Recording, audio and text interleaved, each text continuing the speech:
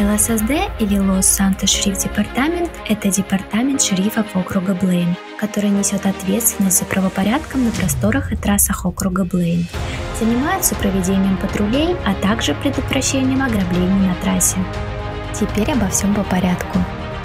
СПД Шрифт Patrol Division – отдел департамента, предназначенный для защиты жизни, здоровья, прав и свобод граждан, для противодействия преступности, охраны общественного порядка, собственности и для обеспечения общественной безопасности, а также для обеспечения безопасности на дороге.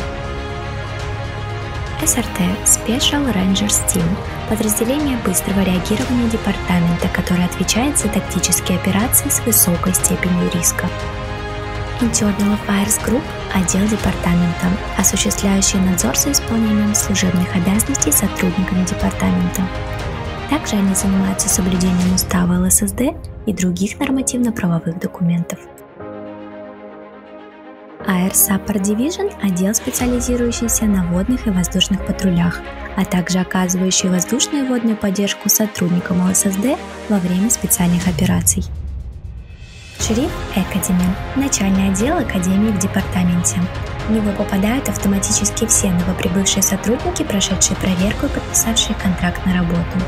Задача Академии – изучать внутренние памятки департамента, посещать лекции и находиться на территории департамента в рабочее время.